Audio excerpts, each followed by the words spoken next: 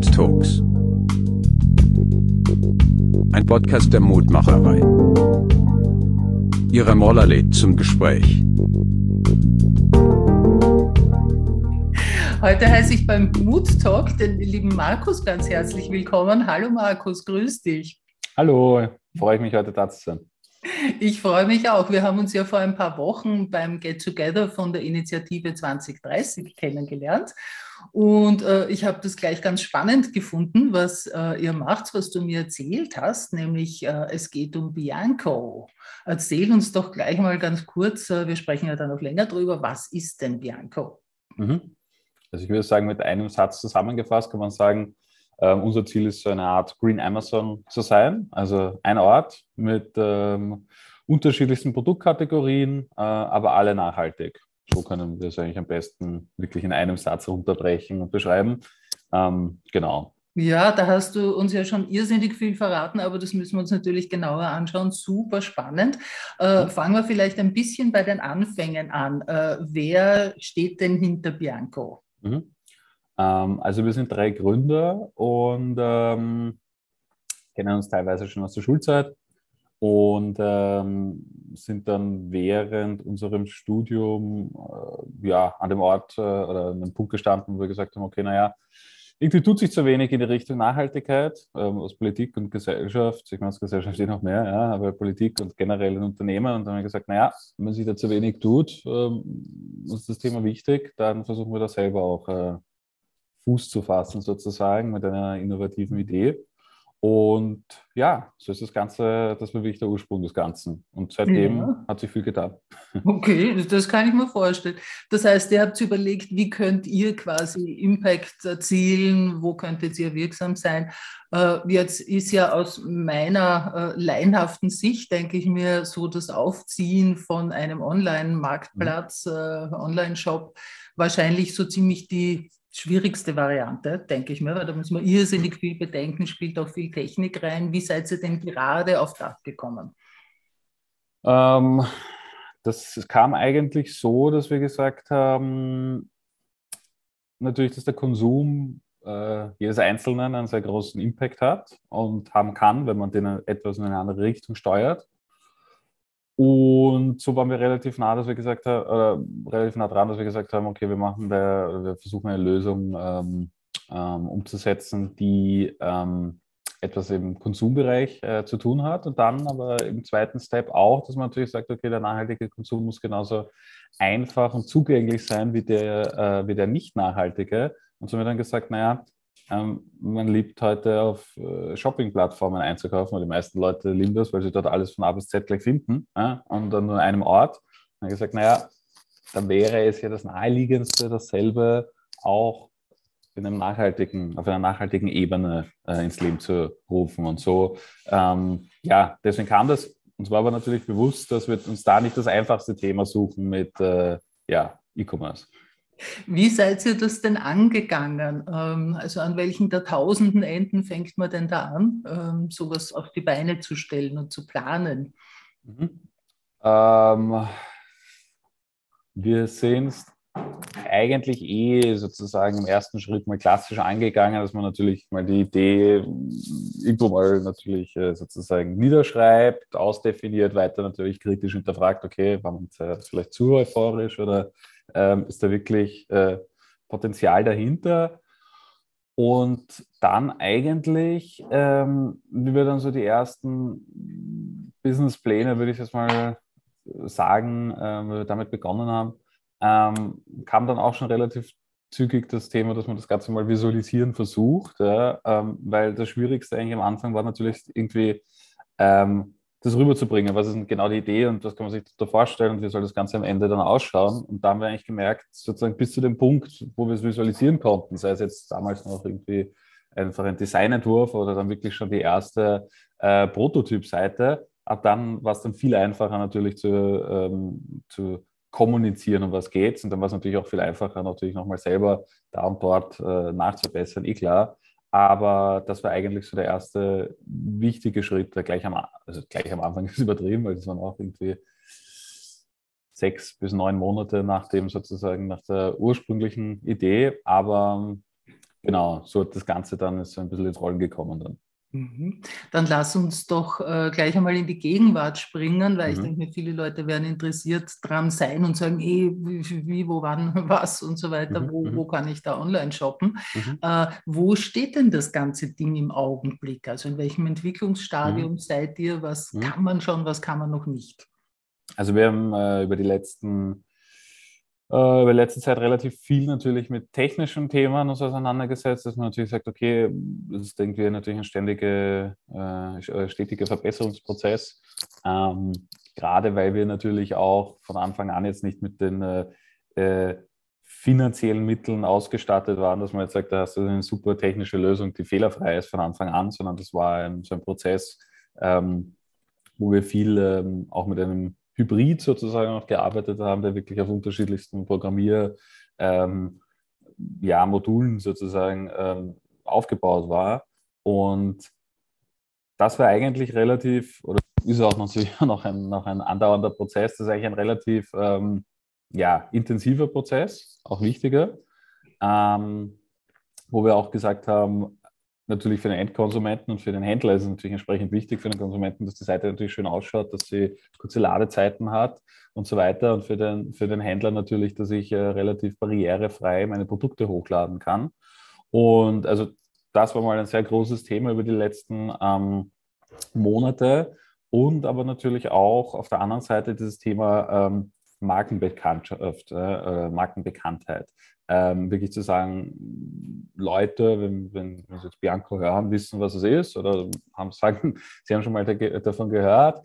Ähm, und das ist so auch der, der, das andere Thema, mit dem wir uns jetzt sehr intensiv natürlich ähm, beschäftigen und was auch noch, natürlich noch irgendwie ähm, andauernd ist, weil äh, jetzt kennen wir uns zwar schon ein paar Leute, aber äh, ist natürlich noch Luft nach oben. Ähm, wir haben da aber derzeit auch den Fokus auf Wien gelegt, also auf Österreich und aber auf Wien derzeit, auch wenn wir natürlich ähm, sehr viele Händler auch aus den Bundesländern haben und auch Kunden schon. Aber ja, wir haben gesagt, jetzt, weil wir hier aus Wien sind, haben wir gesagt, okay, jetzt muss es eigentlich so sein, dass unsere Zielgruppe in Wien uns schon auch ähm, ja, mit Begriff äh, hier dann auch werden, schön langsam.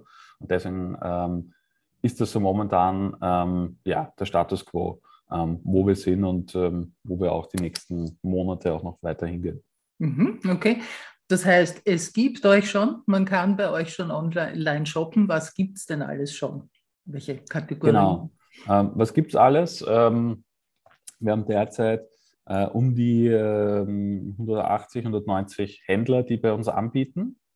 Ähm, also unterschiedlichstes gibt es schon, von ähm, den üblichen Verdächtigen wie ähm, äh, Kleidung äh, bis hin zu, wir haben auch äh, refurbished Elektronikgeräte. Ähm, mittlerweile seit dem Jahr, das ist auch, ähm, ja, sind wir auch super happy.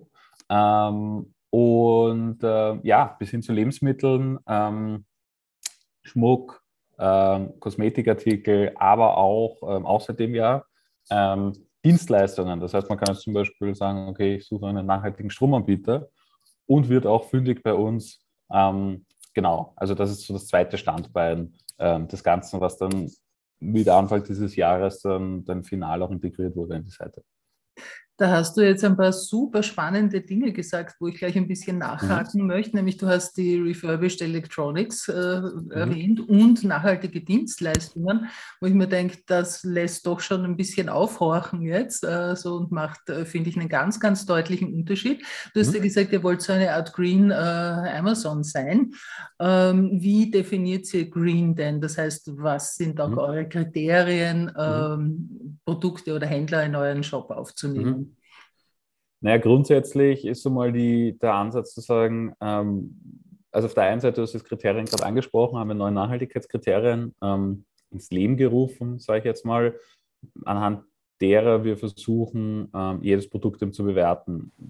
Das heißt, das Produkt muss, äh, jedes Produkt muss mindestens zwei von den neuen erfüllen. Je mehr, desto besser, aber das Minimum sind zwei.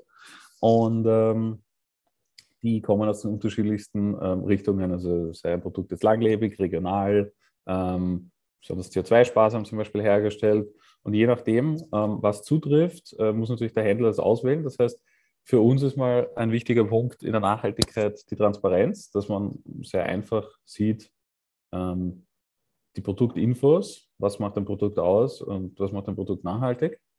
Ähm, das mal auf der einen Seite.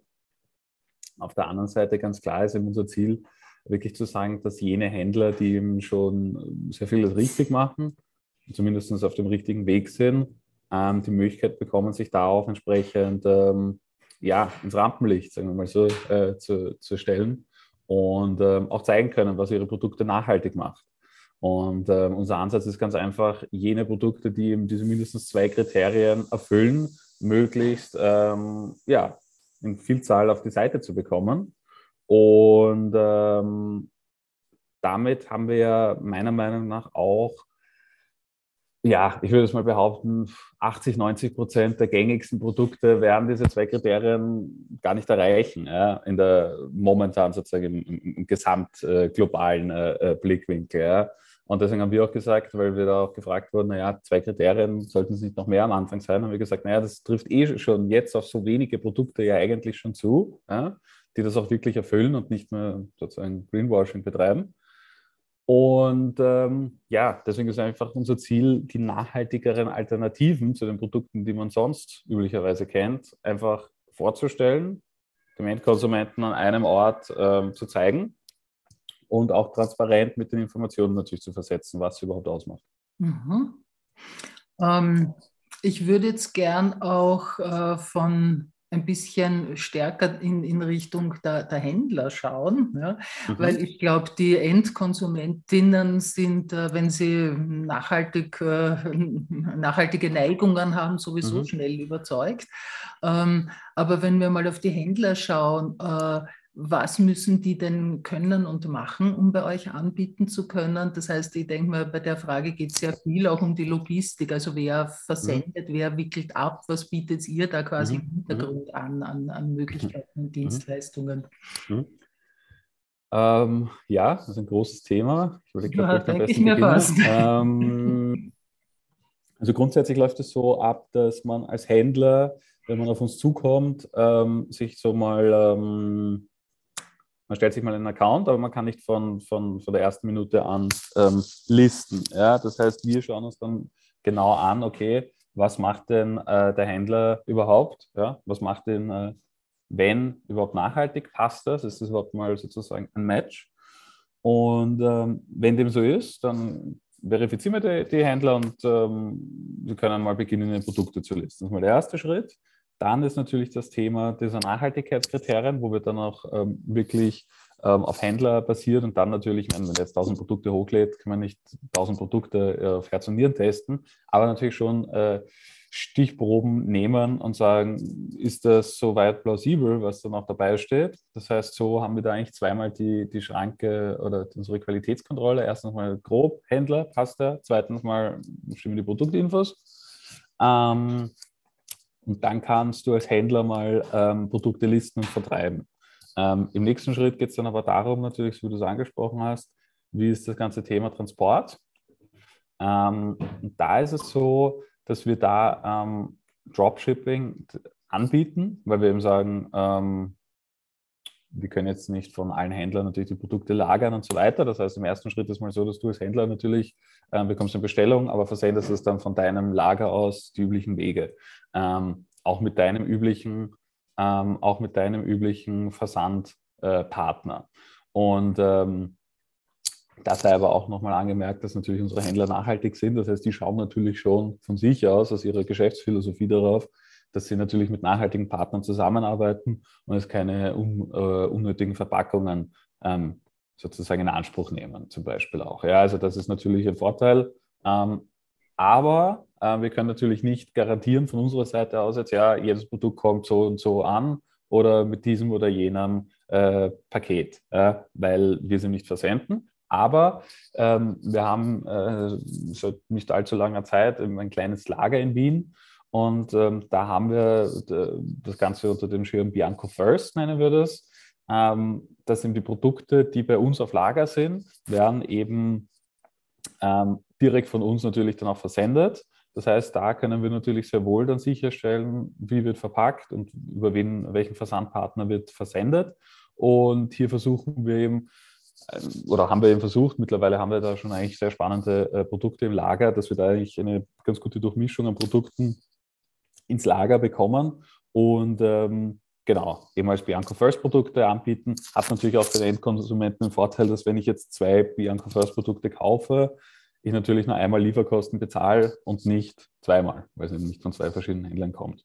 Und das heißt, so versuchen wir eben auch ähm, eine Lösung ähm, auf dieser letzten Meile oder generell äh, des letzten Bestellabschnittes auch von unserer Seite ähm, soweit mitzugestalten. Ähm, wird an sich ähm, eigentlich von den Händlern auch gut aufgenommen, dieses Thema und ähm, ist aber natürlich bei den Endkonsumenten eigentlich so in der Regel die erste Frage, wie macht ihr das ganze Logistik- und Versandthema? Deswegen war uns da immer schon bewusst, extrem wichtiges Thema, haben da lange auch nicht die perfekte Lösung für uns gefunden. Jetzt mit der Lagerlösung sind wir eigentlich sehr happy, weil wir ganz einfach sehen, es wird sowohl von den Händlern als auch von den Konsumenten eigentlich gut angenommen.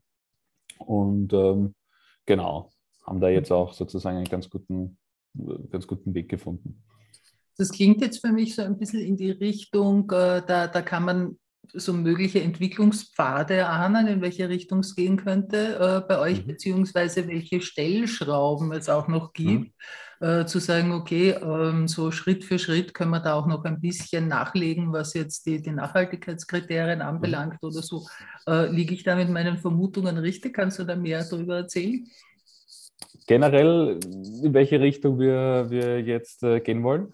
Ähm, einerseits dieses Thema eben Versand, Versandabwicklung ist eben etwas, was wir jetzt erst, wo wir relativ am Anfang sind und aber meinen, dass wir da eine ganz gute oder eine richtige Richtung gehen, was wir dahingehend natürlich weiter verfolgen und weiter ähm, entsprechend promoten möchten. Auf der einen Seite, ähm, aber eben, wie du angesprochen hast, zu der, zum Thema Nachhaltigkeit, Qualitätskontrolle, Kriterien, ist natürlich auch so, dass wir sagen, ähm, wir sehen dieses, dieses Kriteriensystem auch als sehr dynamisches an, weil wir der Meinung sind, was heute nachhaltig ist und sozusagen State of the Art ist, kann in zwei, vier, fünf Jahren schon ähm, ja, outdated sein. Ähm, und möchten da natürlich auch die Kriterien stetig äh, dynamisch weiterentwickeln und auf natürlich die aktuellsten Trends ähm, dahingehend mit einbeziehen. Ähm, daher ist das auch ein stetiger Prozess. Ja. Ähm, möchten da aber natürlich noch mehr auch Transparenz ähm, im Zuge dessen für den Endkonsumenten auch ähm, herstellen gleichzeitig. Ja. Das heißt, also für mich bedeutet auch ähm, Transparenz nicht nur, ich finde die Infos, sondern ich finde sie eigentlich auch relativ einfach. Ja. Weil wenn ich dann irgendwie zehn Seiten bei jedem Produkt irgendwie dann durchlesen muss, damit ich weiß, äh, was macht es überhaupt nachhaltig, dann ist das für mich dieser Informationsmehrwert ja kein wirklicher Mehrwert. Ähm, und da ist, sind wir wirklich sehr dran, ähm, dass man das einfach noch ähm, vereinfacht. Die, also das Thema Kriterien und wie sie dargestellt sind, sind sozusagen mal der erste Schritt. Aber hier möchten wir auf jeden Fall noch mehr äh, künftig anbieten und ja, das Thema auch vielleicht noch ja, spielerischer auch ähm, an den, den sozusagen Endkunden näher bringen. Äh, wobei ich aber da sagen muss, da haben wir natürlich noch nicht die perfekte Lösung. Da gibt es einige Ideen, die im Raum stehen. Ähm, die gilt es auch ganz einfach auszutesten ne, über, die nächsten, über die nächsten Monate. Ähm, das finde ich auch spannend, was du jetzt gerade angesprochen hast mit der Transparenz. Das finde ich auch so wichtig, ja, dass, mhm. dass man sich schnell einen äh, Einblick verschaffen kann oder einen Eindruck verschaffen kann, okay, wie nachhaltig ist das wirklich? Ist das jetzt Greenwashing oder nicht? Ne? Weil Öko-Bio kann irgendwo jeder draufschreiben. Äh, und das so leicht zugänglich und so informativ wie möglich zu machen, finde ich super. Du, wir haben noch gar nicht über den Namen gesprochen. Ja. Wie seid ihr denn zu dem Namen Bianco gekommen? Ähm, das ist äh, äh, lustige Geschichte, das weiß ich gar nicht, aber es ist grundsätzlich, ähm, die Namensfindung ist ja immer irgendwie das Mühsamste oder das, das, das Komplexeste am Anfang, wo man nie ganz zufrieden ist, weil man sich immer denkt, äh, finde ich denn gut, aber am nächsten Tag denkt man sich wieder, hm, weiß ich jetzt nicht. Also, wenn ich eins gelernt habe, dann ist natürlich, dass, dass die Namensfindung eigentlich das, das, das unangenehm, oder nicht unangenehmste, aber sicherlich das unkomfortabelste irgendwie am Anfang einer Gründung eines Projekts äh, ist, meiner Meinung nach. Geschichte, ja. gell? Ja, weil es so identitätsstiftend ist und so. Genau, also wirklich ähm, schwierig und vor allem, wenn du dann siehst, okay, da gibt es so super viele kreative Namen, will man natürlich auch entsprechend äh, mit einem coolen Namen daherkommen. Ja. Ähm, bei uns war es aber so, dass wir gesagt haben von Anfang an, wir möchten, dass es jetzt nicht nur ein fiktiver Name ist, der jetzt ähm, nichts aussagt, sondern dass man, wenn man weiß, um was es geht, auch irgendwie eine Message im ganzen Namen hat. Ähm, deswegen haben wir einerseits gesagt, aus Marketing-Sicht, dass wenn man das Ganze verknüpft mit ähm, einem Tier oder einem, also sagen wir mal so, einem Symbol, am besten eben etwas Tierisches, dass es dann auch ähm, ja, leichter greifbarer wird, ja, sympathischer. Ähm, dann haben wir gesagt, naja, war auch gerade das Thema Bienensterben äh, ein sehr großes, wie wir äh, mit Bianco begonnen haben. Und haben wir gesagt, naja, eigentlich ist die Biene nicht wertgeschätzt genug, sondern ist halt einfach da, aber man weiß eigentlich gar nicht warum und wie wichtig sie ist. Und ähm, also warum weiß man schon, warum sie da ist, aber eigentlich weiß man gar nicht, wie wichtig sie ist. Ähm, es gibt ja immer wieder diese, äh, diese, diesen, diesen, ja, diesen Spruch, dass es ohne Bienen auch keine Menschen gäbe, was sicherlich, ähm, ja, sicherlich seine Wahrheit dran ist. Ähm, ja, und dann sind wir relativ schnell auf die Biene gekommen und dann aber, gut, nur Bi konnten wir es dann auch nicht nennen oder Biene. Ähm, und dann haben wir versucht, da eben den Connex herzustellen. Und dann ist jetzt Bianco, ähm, ist dann abgeleitet von, von Weiß, also aus dem Italienischen. Und dann habe ich gesagt, naja, ähm, eigentlich die Farbe Weiß auch die, für die Reinheit, für die sozusagen Unschuld steht dann, dass man sagt, okay, das soll die Produkte widerspiegeln auch. Ja, also frei von Schadstoffen, frei von Umweltverschmutzung. Ja. Ähm, und so haben wir gesagt, hey, das passt ja eigentlich auch gut zusammen mit der Biene, mit dem Doppel-E. Und so kam es. Wir waren aber ehrlicherweise am Anfang auch natürlich nicht sicher, dass wir sagen, okay, wir, lassen, wir lassen es jetzt bei dem Namen. Wir haben am Anfang gesagt, naja, das ist jetzt mal der Projektname. Und schauen wir mal, wie so die ersten Reaktionen sind. Man muss ja auch schauen, okay, wie leicht merken sich die Leute dann den Namen und ja, auch natürlich die Schreibweise und so weiter. Und haben aber gesehen, dass eigentlich ähm, von der Schreibweise und so weiter es dann irgendwie doch ein bisschen hängen geblieben ist bei den Leuten, die eigentlich gemeint haben, ja, das ist ein cooler Name und die Biene und so weiter. Ja, und dann hat es uns eigentlich bestätigt, dass wir dann gesagt haben, naja, dann ist der Name vermutlich eigentlich gar nicht so schlecht. Und dann äh, belassen wir es eigentlich ähm, dabei, ähm, wirklich nach dem entsprechenden Feedback ja, und seitdem heißen wir Bianca. Okay. Ja, ich finde es irgendwie witzig, weil äh, ich denke mir, gerade bei eurer potenziellen mhm. Zielgruppe ist ja das Bienensterben äh, schon angekommen und äh, löst auch viel Betroffenheit aus und viel Wunsch, was zu machen und so. Also ich glaube, die Sympathie für die Biene ist in eurer Zielgruppe durchaus vorhanden. Und äh, also äh, so wie ich über den Namen nachgedacht habe, dann, wie, wie ich ihn erfahren habe, habe ich mir auch gedacht, ja, irgendwie es löst so ein bisschen die Assoziation auch aus, so wie das, das B ist einmal klar und das AN dann entweder so wie ein mhm. verkürztes AND oder ja. irgendwas, ein N für nachhaltig und Co. für, für Company, also passt ja auch ganz gut. Ne? Lustigerweise wird es oft als B Co. Ähm, vermeintlich bezeichnet, äh, wobei ich den Namen eigentlich auch ganz nett finde. Mhm. mhm. Aber was dann irgendwie suggeriert auch, dass wir ähm, ja entweder Bienenzüchter sind oder Honig zum Beispiel haben. Deswegen ist es ähm, ja, das ist sozusagen die Downside. Aber ähm, ja, wir sind soweit eigentlich happy und ähm, habe ich gesagt, äh, jetzt mittlerweile, dass es äh, mit der ganzen Biene natürlich auch eigentlich so stimmig ist und gut zusammenpasst, dass es auf jeden Fall der richtige Name auch ist. Ich meine, mhm. man weiß nie, keine Ahnung, vielleicht ähm, ja, ändert sich massiv etwas mal. Man soll ja nie, äh, niemals nie sagen, aber je, Status quo sage ich auf jeden Fall, ist mal der richtige Name. Und auch große Konzerne, wie wir äh, immer wieder sehen, ändern ja ihre Namen und so weiter. Aber weil du den Honig angesprochen hast, ja. Honig bei euch oder nicht? Haben wir auch, genau. Bitte. ja. ähm, ja, genau, insbesondere da, wenn man natürlich dann schnell den Honig findet, dann glaubt man auch eher, es gibt nur bienennahe Produkte bei uns. Ganz im Gegenteil, offenbar. Ne? Exakt, ganz im Gegenteil. Also es ist sozusagen äh, sind fast die Minderheit der Produkte, dass sie eben was äh, ja, gut, das ist jetzt wenig verwunderlich. Ja. Ist jetzt nicht das, aber genau. Lieber Markus, lass ja. uns doch auch ein bisschen über das sprechen, was es ausmacht, äh, ein Startup zu gründen. Wie ist mhm. denn das Leben als Gründer? Und äh, jetzt habe ich euch noch gar nicht gefragt, dich noch gar nicht gefragt, wie lang äh, gibt es euch schon oder wie lange bist du schon in diesem Zustand, über den wir jetzt sprechen werden? Ähm, also wir sind ähm, die allerersten, also die aller, allererste Phase der Idee kam Mitte, Ende 2017, 2018 haben wir uns dann damit gewidmet, ähm, das Konzept mal auszudefinieren und wie wir das Ganze äh, technologisch angehen. Und Mitte 2019 sind wir dann mit der ersten Version online gegangen. Also entsprechend okay. Äh, knapp vor Corona dann auch. Mhm. ähm, und ähm, genau, und seit damals und seit ähm, letztem Jahr im Herbst, weil damals haben wir eben ähm, alle drei noch nebenbei ähm, sozusagen einen normalen Job äh, gehabt. Und jetzt seit aber letztem Jahr im Herbst bin ich jetzt mal sozusagen der erste von uns Gründern, der jetzt Vollzeit im Bianco auch macht. Und das heißt, die sozusagen Vollzeit ähm, Gründerdasein eben jetzt seit circa genau einem Jahr. Okay, erzähl uns was über dieses Gründerdasein. Wie lebt sich so als Gründer? Was, ist, was sind die äh, Freuden und was sind vielleicht auch die Schrecknisse oder so?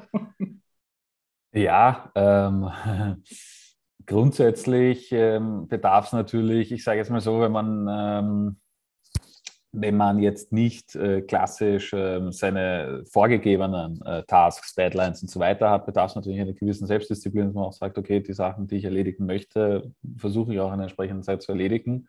Und ähm, steckt man halt da und dort natürlich, wie es auch sonst üblich ist, zurück. Aber da muss man natürlich sozusagen eine gewisse äh, Selbstkontrolle haben, möglichst. Ähm, aber auf der anderen Seite darf man auch, ähm, das ist halt das Thema, ähm, ist natürlich schwierig zu sagen, gut, jetzt bin ich fertig für heute, jetzt mache ich sozusagen den Laptop zu und äh, morgen sozusagen in 8 in der Früh geht es wieder weiter.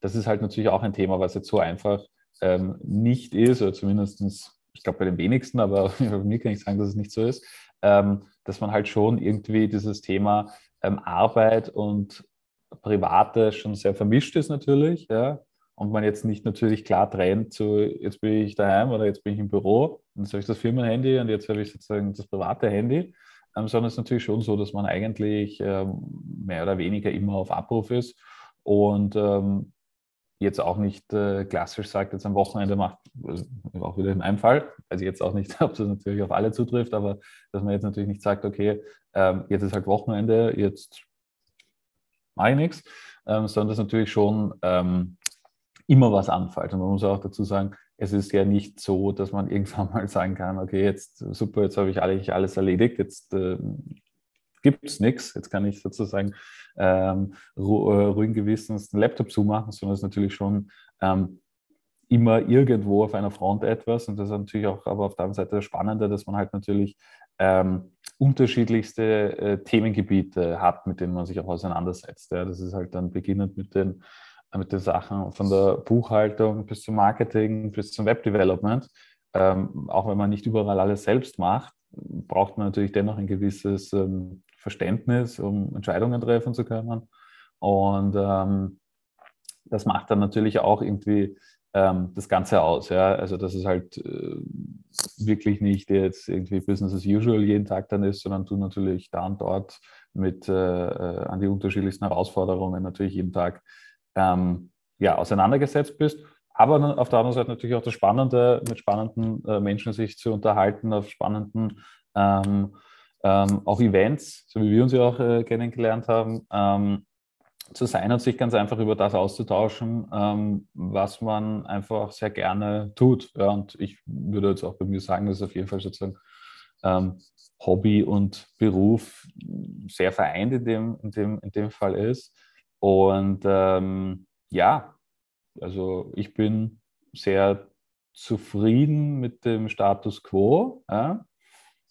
Hm, ja, merke aber natürlich trotzdem auf der anderen Seite auch, dass natürlich eine gewisse Mehrbelastung bis zu einem gewissen Grade natürlich auch ist, weil man deutlich mehr arbeitet und immer auf Abruf ist. Aber solange Spaß macht, und das tut es in dem Fall, äh, man identifiziert sich ja auch mit seinem Unternehmen, also wie das sozusagen, ich beschreibe das gerne als sozusagen, das ist wie das, ich habe jetzt ich hab kein Kind noch, aber ich kann es mir vorstellen, dass es irgendwie so ist.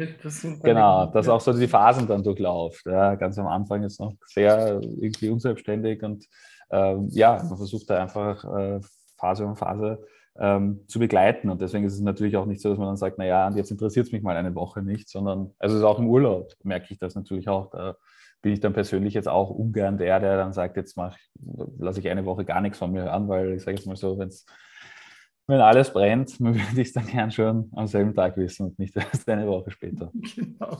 Sag, was mich jetzt auch noch interessieren mhm. würde, äh, was äh, tut ihr denn, was tust du, was tut ihr denn, wenn ihr mal gerade nicht Bianco seid? Oder gibt es das überhaupt schon? Ähm, du hast ja gesagt, bei dir fällt jetzt quasi Hobby und Beruf zusammen. Mhm. Äh, mhm. gibt es Freizeit noch? Und ähm, wenn ja, was tut ihr in der? Was interessiert euch noch? Ähm, naja, was tut sich in der Freizeit? Ähm, ich, es ist natürlich jetzt auch so die Phase, dass jetzt sehr viel natürlich auch zusammenfällt mit Corona, Unternehmertum, Lockdowns und so weiter. Das heißt, die Freizeit ist an sich ja schon beschränkt. Ähm, aber ähm, es ist natürlich nicht extrem viel Freizeit, aber wenn Versuch, also auf meiner Seite, aber ich habe gesagt, also teilweise mit meinen, mit meinen Mitgründern auch, dass wir da schon ein länger freundschaftliches Verhältnis schon aus der Schule Teilzeit haben. Also das heißt, man ist auch da im Austausch sozusagen auf einer nicht unternehmerischen ähm, Ebene. Ähm, sonst, ja, sage ich jetzt mal so klassische Hobbys wie Sport, ähm, wobei da auch zu wenig äh, Zeit dafür übrig bleibt, leider. Ähm, ja, ich glaube sonst, ähm, was bei mir am besten zutrifft, dass man sich einfach im Freundeskreis ähm, auch zu Themen, die einfach jetzt nicht rein ähm, wie das Geschäftliche sind, einfach austauscht, sei es darum, was man macht, gemeinsam im Sport oder ähm, ja, ähm, Fre Freizeitaktivitäten. Ich habe jetzt kein klassisches Hobby, wo ich jetzt sage, das mache ich jeden Tag in der Früh. Ja, ähm, ja aber es ist so, es ist unterschiedlich. Aber ich muss aber tatsächlich sagen, ich kann mich nicht über zu viel Freizeit beklagen. Ja, deswegen deswegen ähm, äh, bleibt da auch ähm, gar nicht so viel übrig. Ja. Ähm, ich sehe es aber tatsächlich eben auf der anderen Seite so, dass man halt irgendwie in dem Setting schon sehr viel unterbringt, was man sonst vielleicht wenn man jetzt einen klassischen Beruf hat, in der Freizeit unterbringen müsste. Ja, sei es dann auch so auf einer persönlichen Ebene, dann zwischendurch mal ein Austausch oder ähm, einfach auch, wenn man sagt, okay, man liest sich in ein neues Thema auch irgendwie ein oder möchte sich mit einem Thema mal beschäftigen, ähm, dann ist es sozusagen jetzt nicht nur, okay, das mache ich jetzt nur in der Freizeit, sondern kann man dann auch wieder einen Connex zum, zum Unternehmerischen ziehen, ist dann natürlich auch schwierig abzuschalten. Aber ja, ich glaube, das erklärt das eigentlich äh, ganz gut, dass man da, ja, ich, bei mir tatsächlich ist es so, wenn wir jetzt über Freizeit reden, ist es jetzt sicherlich nicht so, dass ich jetzt sage, okay, jetzt ist Bianco gar kein Thema, sondern irgendwie, wenn ich jetzt was sehe und sage, denke mir, pff, das ist eigentlich eine coole Werbeaktion, das, da können wir uns was abschauen, dann ist es schon so, dass man natürlich auch da irgendwie aufmerksam auf solche Themen allein schon ist. Ja. Das ähm, Baby ist nie weg, gell? genau. Genau. Schläft vielleicht einmal kurz. genau. Na, aber, aber ich glaube, umso wichtiger, und das habe ich ähm, sozusagen auch äh, selbst gesehen, dass man trotzdem eine gewissen, ähm, gewisse Balance, ich glaube, man muss jeder für sich entscheiden, wie viel sozusagen Balance, äh, Work-Life-Balance man, man braucht. Aber es ist auf jeden Fall wichtig, die, die für einen notwendig ist, auch der Zeit zu geben, weil man ganz einfach merkt, okay, ähm, da tankt man wieder Energie auf und ähm, ja, sieht auch Sachen anders. Ich meine, wenn man sich zu sehr mit einem Thema beschäftigt, ist man ja dann auch schon, ja, sieht man den Wald vor lauter Bäumen nicht. Ne? Mhm. Ähm, ich glaube, da ist es gut, auch ein bisschen Abstand zu bekommen und man muss halt für sich irgendwie entscheiden, ab wann kriege ich denn ein bisschen einen Abstand ja, und was, was brauche ich für mich persönlich dafür. Markus, was macht dir den Mut? Ähm, Im Allgemeinen oder in Bezug auf unser, auf die Unternehmenssicht? Am besten sowohl als auch. Okay. Ja. Lass mal hören. ähm, das ist eine sehr spannende Frage. Ähm,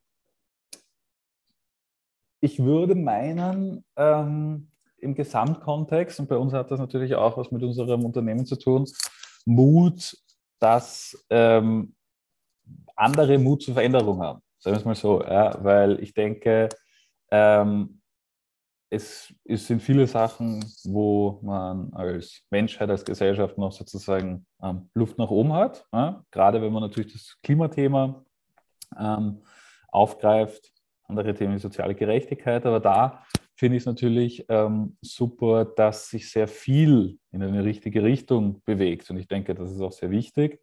Und ähm, da würde ich jetzt ehrlicherweise meinen, das macht dann natürlich schon Mut, dass man sagt, man ist jetzt nicht der Einzelkämpfer, ja, sondern man sieht, es ist an sich ein Thema, das vielen Leuten näher geht. Und ja, ich glaube, das bestärkt einen dann auch nochmal in dem, was man tut. Ja. Und bei uns ist jetzt natürlich gerade das enge Kontext natürlich zur Nachhaltigkeit. Deswegen kann ich die Frage sozusagen gleich 2 in 1 beantworten. Hätte ich mir fast gedacht. Und wofür brauchst du Mut? Habe ich schon gesagt, die letzte Frage ist sehr spannend. Sie nochmal. Ähm, ich denke, wahrscheinlich will ich jetzt darauf antworten, dass man ähm, an den Themen dranbleibt, ähm, entsprechend mit der ähm, Energie auch. Ja? Dass man natürlich auch irgendwie so sagt, okay, es zahlt sich dann auch an, oder es trägt Früchte auch, oder man, man, man wird wiederum bestätigt zu sagen, ja passt, gehen wir weiterhin in die Richtung. Ähm, es ist jetzt aber nicht so, dass ich jetzt sagen würde, ich würde es aber auch nicht ausschließen, wenn jetzt nicht so viel Veränderung schon wäre, dass man dann sagen würde, oder in meiner Sicht jetzt sagen würde, okay, dann probiere ich es erst gar nicht und werfe das äh, Hand das jetzt von Anfang an hin. Mhm. Ähm, Finde ich eine schwierige Frage tatsächlich zu beantworten, aber ähm, ja, so in etwa hätte ich es aber gesehen. Mhm. Habe ich das jetzt so richtig verstanden? Weil da spielt natürlich auch immer das, was ich selber dazu empfinde, mhm. äh, irgendwie rein und färbt dann vielleicht die, das Verständnis der Antworten ein bisschen. Mhm. Aber was ich jetzt so glaube, bei dir herausgehört zu haben, war, okay, es braucht natürlich für dieses Gründerdasein viel Disziplin mhm. und die ist nicht immer leicht. Ne? Das, wenn man das nur als Wort sagt, ist das einfach, aber das zu leben, auch im Urlaub zu leben und so weiter, ist nicht immer einfach. Und dazu braucht es schon manchmal auch Mut, ja, da dann dran zu bleiben, wenn man einen Durchhänger hat oder so. Liege ich da ungefähr richtig? Ja, aber ähm, also ja, ähm, ich denke, man würde fast sagen, es bräuchte wahrscheinlich noch mehr oder zumindest ähm, wäre das also das klassische Argument, überhaupt mal diesen ersten Schritt zu gehen, zu sagen, okay, ich mache es überhaupt erstmal. Mhm. Trifft jetzt aber bei uns nicht ganz zu, weil bei uns war es insofern einfach, weil wir eben schon ähm, in dem Dreiergespann waren und schon davor sozusagen ein erstes, sozusagen, ja, leises irgendwie Ausprobieren im Startup-Dasein hatten und deswegen eigentlich gesagt haben, eigentlich sozusagen darauf gewartet haben, wann so die Idee kommt, wo wir sagen, da haben wir auch einen größeren Impact und waren dann jetzt nicht so, okay, tun wir es oder tun wir es nicht, sondern so, ja, das müssen wir machen. Ja, sozusagen, dass wir überhaupt nicht die Mutfrage uns dargestellt hätten, zu sagen, trauen wir uns drüber oder nicht. Ich glaube aber meistens ist es schon das, ich glaube, es ist auch meistens also diese, diese der Mut zum ersten Schritt, wenn man jetzt äh, etwas beispielsweise alleine angeht ja, und nicht in einem Team, weil ich glaube, es ist natürlich auch deutlich schwieriger zu sagen, ich mache das jetzt alleine, den ersten Schritt, als wir haben, wir haben immer noch zwei andere Leute, auf die man sich sozusagen als Backup verlassen kann. Ähm, da glaube ich, spielt dann tatsächlich schon in der Regel Mut eine sehr wichtige und tragende Rolle. Mhm.